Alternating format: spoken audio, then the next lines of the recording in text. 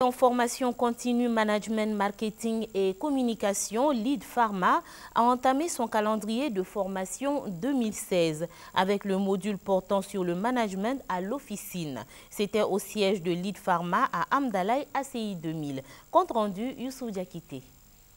Lead Pharma se positionne de plus en plus comme leader dans la formation continue des pharmaciens.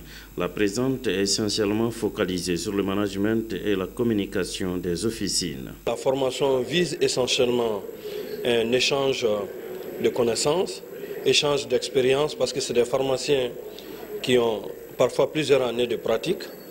Ils savent ce qu'ils font, mais la formation va les aider à mieux structurer ce qu'ils font et leur apporter des outils qui, leur euh, qui puissent leur permettre d'améliorer ce qu'ils font et d'être plus euh, compétitifs dans un environnement hautement concurrentiel.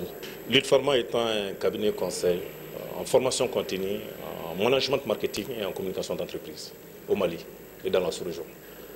la mission de Pharma aujourd'hui, c'est d'offrir une plateforme de formation continue, management marketing et de communication à l'ensemble des chefs d'entreprise pharmaceutique au Mali et dans la sous-région. Aujourd'hui, nous sommes dans un environnement qui bouge et qui change, dont la seule constante, c'est le changement.